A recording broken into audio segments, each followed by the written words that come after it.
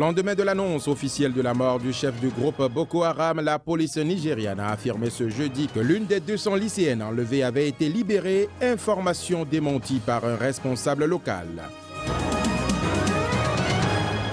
Trois districts de la Sierra Leone à nouveau mis en quarantaine avec effet immédiat. Cette mesure prise ce jeudi par le gouvernement vise à enrayer la propagation de l'épidémie Ebola dans le pays. Le remake du film d'horreur mexicain Mas Negro que la Noche sort ce jour en salle de cinéma aux États-Unis. Ce classique des années 75 revient en 3D.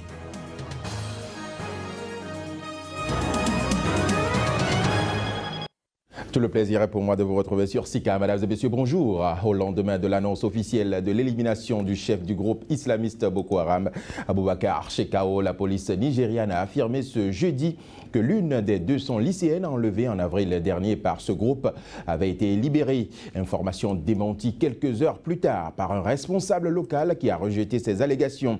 La jeune fille âgée de 20 ans a été déposée par des combattants présumés de Boko Haram à Mobi, dans l'état d'Adamawa, ce mercredi vers 17h, heure locale, a déclaré le porte-parole de la police nationale, Emmanuel Ojokuo. Mais Enoch Mark, un responsable chrétien de la ville de Chibok, dans le nord-est du pays où les lycéennes avaient été kidnappées a assuré que la police a fait une erreur. Elle n'est pas de Chibok, a-t-il expliqué.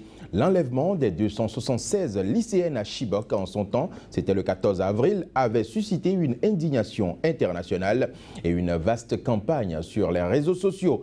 Cette mobilisation avait forcé les autorités nigérianes à accepter l'aide extérieure pour les retrouver. Mais précisons que les jeunes filles restent introuvables. Précisons également que les 276 lycéennes enlevées sur les 276 lycéennes enlevées, 57 d'entre elles avaient réussi à s'échapper. En Ouganda, une opération surprise des forces publiques a permis de mettre aux arrêts une dizaine d'individus suspectés de terrorisme. Ils sont présentement placés en garde à vue après avoir comparu devant le tribunal. Reportage. Ils sont huit hommes et deux femmes soupçonnés d'activités terroristes mises aux arrêts. Les accusés ont été identifiés comme résidents d'un quartier somalien de Kampala. L'un d'eux originaire du Kenya, les neuf autres sont tous des citoyens somaliens.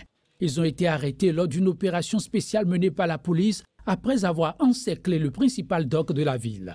Au cours de leur comparution, il a été déclaré que les suspects et d'autres encore en fuite avaient aidé et apporté du soutien au groupe Al-Shabaab tout en sachant que le soutien apporté serait utilisé à des fins d'actes de terrorisme. Les concernés déclarent quant à eux être des gens de bonne moralité. Selon l'acte d'accusation, les inculpés âgés entre 20 et 31 ans sont décrits comme des réfugiés ayant pour profil chauffeurs et hommes d'affaires. En attendant la reprise de leur procès prévu pour le 7 octobre, ils sont tous placés en détention provisoire. L'Ouganda, principal allié des troupes africaines dans la lutte contre les insurgés Shebab, a été pris pour cible par ces rebelles dans le passé dans une attaque à la bombe ayant occasionné d'importants dégâts matériels, plusieurs blessés graves et tués au moins 116 personnes.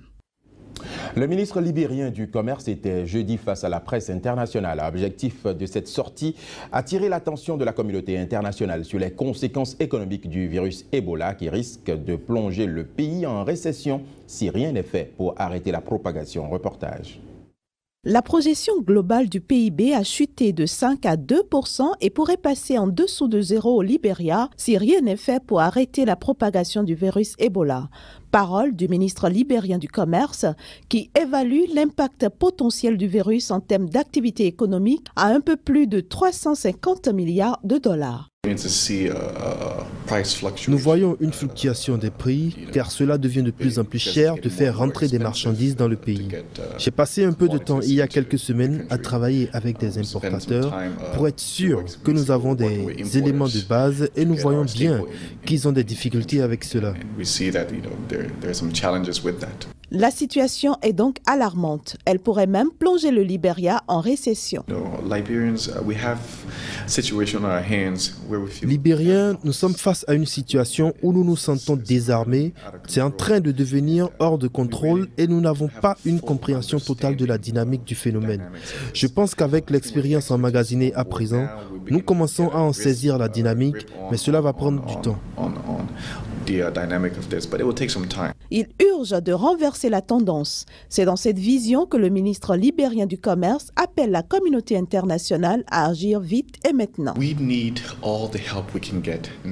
Nous avons besoin de toute l'aide nécessaire à présent. Nous avons besoin d'engagement maintenant pour être opérationnel. Uh, C'est une course contre la montre. Et plus l'épidémie se répand, plus cela coûte cher de la contenir. Notons qu'Ebola a déjà fait 1677 morts au Libéria sur 3280 cas détectés. Son impact économique pourrait infliger, selon la Banque mondiale, un choc catastrophique à ce pays déjà fragilisé par la guerre, en raison principalement d'un facteur peur lié au virus, une peur qui paralyse les activités économiques. Et puis parlant toujours de ce virus et de son impact sur le plan économique, sept mois après l'annonce officielle de l'apparition du virus Ebola en Guinée, l'économie du pays est de plus en plus et demeure touchée. Compagnies aériennes parties, frontières fermées, la capitale Conakry qui accueillait auparavant hommes d'affaires et compagnies minières est de plus en plus isolée. Les restaurants et hôtels ont perdu la majorité de leur clientèle malgré une vie quotidienne calme. Reportage. Sept mois déjà que le virus Ebola a fait son apparition en Guinée. Depuis lors, le pays vit au ralenti, les activités économiques étant de plus en plus durement touchées. Mariam, qui gère un restaurant à Conakry, subit de plein fouet cette situation. Je gère un restaurant qui ne marche plus. Depuis qu'ils ont parlé à faire de Ebola, vraiment ça ne marche plus. Si vous remarquez, tu peux même compter les clients qui sont là et ça a beaucoup joué. Les gens ne comprennent pas, les gens ne viennent plus manger parce qu'ils ont peur. Et je peux dire qu'ils ont raison, ils ont peur de manger n'importe où. Dans les hôtels de Conakry, la clientèle se fait aussi rare. On est presque à 0% d'occupation, J'ai 50 chambres dans cet hôtel par exemple, et il n'y a que deux occupations. Et c'est des compatriotes sénégalais qui n'arrivent même plus à payer. Donc, euh, parce que les frontières sont fermées, il n'y a pas d'avion. Compagnie aérienne partie, frontières fermées et le virus Ebola qui continue sa propagation, autant dire que Conakry n'est pas prête de retrouver au plus vite une vie normale. Les quelques employeurs qui tiennent encore bon espèrent un geste du gouvernement. Les employés qu'on a aujourd'hui à l'hôtel, les salaires, ce n'est pas exclusivement pour, pour eux, ce n'est pas comme en Europe. Ils sont les soutiens d'une famille. Donc on a, on a demandé au gouvernement de nous soutenir en cet engagement et en nous donnant des, aides au niveau d'exonération temporaire des impôts, surtout au niveau social, au niveau des TVA, pour au moins économiser et pouvoir maintenir les structures euh, des. Côté prévision, le tableau est plutôt sombre. À en croire les économistes, la Guinée perdrait 1 à 2 points de croissance en moins en 2014. La Banque mondiale indique pour sa part que l'impact économique le plus important de la crise ne résulte pas de ses coûts directs, mais d'une réaction de panique alimentée par la peur de la contagion. Vivement donc la fin de l'épidémie pour que reprennent les activités économiques dans ce pays classé parmi les plus pauvres en Afrique de l'Ouest. Ebola en Afrique de l'Ouest, euh, toujours, la Sierra Leone a ordonné la mise en quarantaine avec effet immédiat de trois régions et 12 chefferies où vivent 1,2 million de personnes. Cette opération lancée par le président Ernest Baï en personne vise à enrayer la propagation de l'épidémie Ebola dans le pays. Reportage. Cette mesure, dont la durée n'a pas été précisée, concerne près de 1,2 million de personnes. Elle intervient moins d'une semaine après un confinement total de trois jours de toute la population du pays. Kenana et Kailaoun, deux districts de l'est du pays, épicentre de l'épidémie en Sierra Leone, demeurent en quarantaine depuis le début du mois d'août. Avec la nouvelle décision, ce sont au total 5 des 14 districts du pays et plus d'un tiers de la population de la Sierra Leone qui sont concernés par les restrictions de circulation. Confinement de ces districts et chefferies va évidemment poser de nombreuses difficultés, mais la survie de nos concitoyens et de notre pays est prioritaire, a insisté le président Koroma. Ces temps seront éprouvants pour tous, a-t-il ajouté. Rappelons que l'épidémie Ebola a fait 2917 morts en Afrique de l'Ouest sur les 6263 cas déclarés, selon le dernier bilan de l'Organisation mondiale de la santé publié ce jeudi à Genève. La Sierra Leone seule a déjà totalisé 590 17 morts sur les 1940 cas déclarés. Puis précisons toujours au sujet de ce virus que les pays d'Afrique de l'Ouest sévèrement touchés par la fièvre Ebola ont reçu des promesses de nouvelles aides de la communauté internationale au lendemain d'une réunion en marge de l'Assemblée générale des Nations unies sur la lutte contre l'épidémie qui a fait plus de 2900 morts dans la région depuis le début de l'année. La Banque mondiale a annoncé un doublement de son aide à 400 millions de dollars et le président américain Barack Obama a affirmé l'épidémie était une priorité des États-Unis qui ont notamment entamé le déploiement de 3000 militaires au Libéria pour aider à l'installation de nouvelles structures sanitaires. La France à présent, Manuel Valls a souligné ce jeudi la nécessité de rassemblement et de vigilance face à la terreur. Le Premier ministre français a appelé à soutenir les forces de l'ordre et à réaffirmer la France ne cédera jamais. Cette déclaration a été faite lors d'une cérémonie d'hommage au harkis qui branlit à Paris. Une cérémonie au cours de laquelle une plaque en l'honneur des harkis a été dévoilée. Reportage. Devant les nombreux invités conviés à cette cérémonie d'hommage militaire en l'honneur des Harkis, ces soldats nord-africains qui ont combattu pour le compte de l'armée française pendant la guerre d'Algérie de 1957 à 1962, le Premier ministre français a commencé son discours en évoquant l'otage Hervé Gourdel, lâchement assassiné par les djihadistes en Algérie. Invitée à cette cérémonie, Marine Le Pen, la présidente du Front National, s'est interrogée sur les moyens mis en œuvre dans la lutte contre l'État islamique, insistant qu'il fallait donner des moyens supplémentaires aux forces armées pour garantir la sécurité des Français. À partir du moment où euh, nous sommes euh, menacés, où les compatriotes, nos compatriotes français euh, sont menacés directement, où la France est menacée directement, nous ne pouvons pas ne pas nous sentir bien entendu concernés. Mais il, faudra aussi faire le tour des responsabilités des uns et des autres, car c'est ça aussi l'honneur d'un pouvoir politique, d'être capable d'admettre que l'on a commis des erreurs, et notamment dans les interventions en Libye, notamment dans les interventions en Syrie, euh, où l'on a contribué évidemment à renforcer les fondamentalistes islamistes. La France ne cédera jamais, la France ne se laisse pas intimider. C'est cette réaction, et c'est ce que nous devons à ce compatriote qui a été ainsi euh, assassiné. Je ne doute pas un seul instant de cette capacité à se rassembler dans ces moments à être vigilant, mais aussi à faire preuve de solidarité, confiance en soi-même. Manuel Valls a d'autre part exposé lors de son discours un plan d'action en faveur des harkis et de leurs familles. Ce plan comprend six mesures structurées autour de deux axes que sont la reconnaissance visant à entretenir et développer la mémoire de l'histoire des harkis et la réparation désignant plusieurs mesures d'aide en direction de ces anciens combattants et de leurs familles, indique-t-on au ministère de la Défense. Ces mesures seront applicables dès le 1er janvier 2015. Et puis parlons toujours de cette mobilisation internationale contre le terrorisme. Le Parlement britannique se prononce ce jour même sur la participation du Royaume-Uni aux frappes de la coalition contre l'État islamique. Les États-Unis et leurs alliés arabes ont déjà ciblé en Syrie des raffineries contrôlées par l'État islamique. Un autre élément dans ce journal, alors qu'elle connaît un succès fulgurant, surtout en Europe et aux États-Unis, la cigarette électronique va être interdite dans certains lieux publics comme les écoles et les transports publics en France. Annonce faite ce jeudi par la ministre de la Santé lors de la présentation de son plan anti-tabac. La consommation de la cigarette électronique double chaque année depuis quatre années.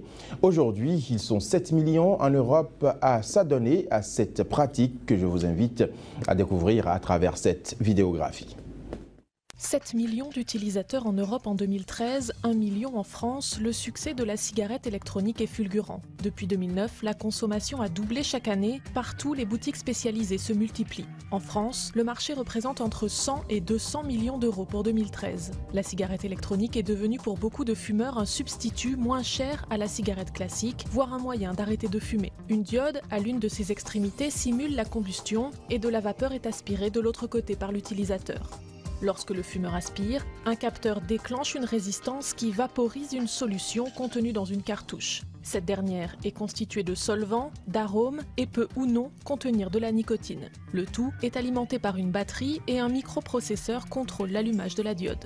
Les différentes marques n'oublient pas le côté ludique, proposant une gamme de parfums allant du tabac classique au chocolat, en passant par le café, la cerise ou encore le Coca-Cola. Mais les effets indésirables sont encore mal évalués, les solvants utilisés dans les cartouches pourraient présenter des risques et la nicotine, déjà nocive en elle-même, pourrait induire une dépendance à la cigarette électronique.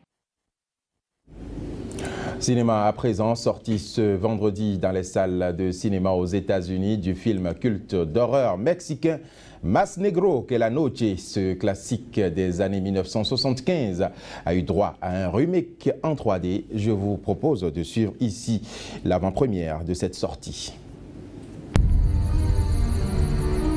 Une mise à jour en version 3D du légendaire film mexicain d'horreur classique de 1975, Mas Negro que la Noche.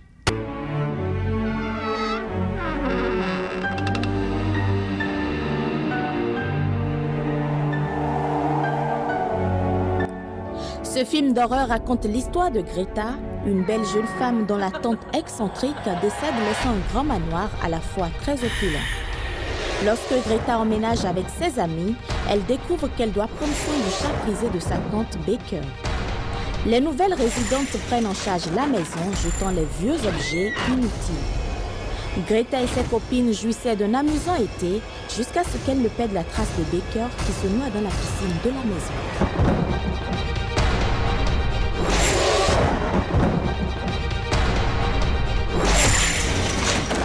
Début de leur enfer, des choses étranges commencent à se produire, des voix bizarres, des visions de fantômes et des bruits mystérieux qui les conduisent à la découverte des pouvoirs les plus sombres du mal, de l'horreur et de l'agonie au-delà de la terreur.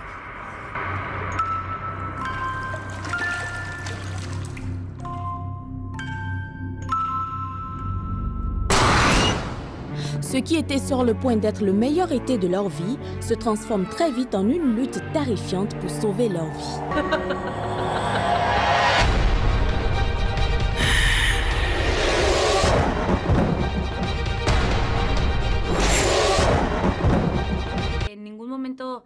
Se intentó o fue la intención como À aucun moment, nous n'avons eu l'intention de faire mieux que la version précédente. On n'a même pas essayé. Ça aurait été absurde de notre part.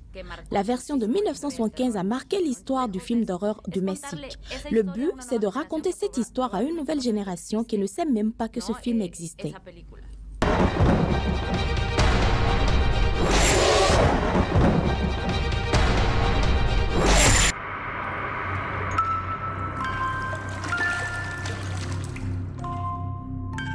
Mas Negro que la Noche sort le 6 septembre prochain.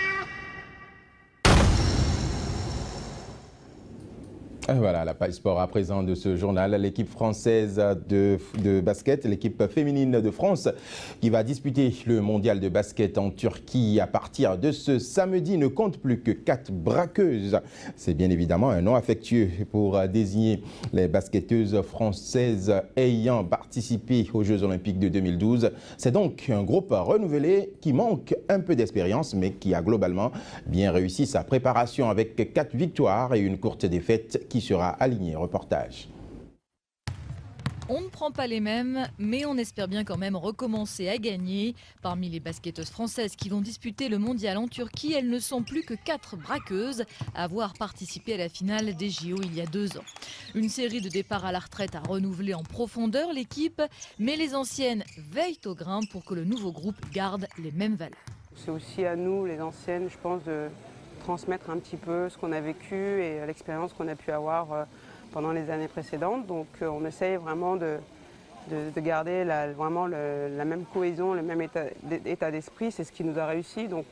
Et c'est l'identité qu'on a à travers tous les gens qui nous suivent et qui nous soutiennent. Les vice-championnes d'Europe se préparent depuis fin juillet, mais elles ont dû se passer pendant plusieurs semaines de leurs deux vedettes américaines, leur capitaine Céline Dumerc et leur pivot Sandrine Gruda. Malgré tout, leur bilan est plutôt réussi avec deux défaites pour cinq victoires, dont la dernière face aux américaines, championnes olympiques et championnes du monde en titre, de quoi mettre en confiance. Même si la nouvelle patronne des Bleus ne s'en cache pas, les Françaises voient surtout ce mondial comme une répétition générale avant l'Euro 2015 en Hongrie. On a tous à souhait de pérenniser le statut de l'équipe de France, qui est aujourd'hui important au niveau européen et mondial. Après, on sait que ce n'est pas facile, qu'il y a des joueuses qui ont arrêté.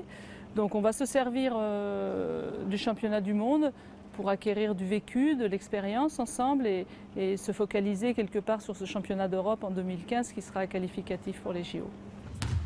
Rendez-vous samedi pour le premier match des Bleus face à la Turquie qui aura l'avantage de jouer devant son public. Voilà, Madame, Monsieur, ce journal s'achève, mais avant de partir, je vous propose de méditer cette sagesse d'origine camerounaise qui dit des longues lianes ne suffisent pas pour construire une case. Il en faut aussi des courtes pour parfaire les angles. C'est une sagesse d'origine camerounaise. Merci une fois encore de nous avoir suivis. L'information se poursuit sur Sika TV et sur notre site internet www.sikatv.info et la page Facebook Sika TV.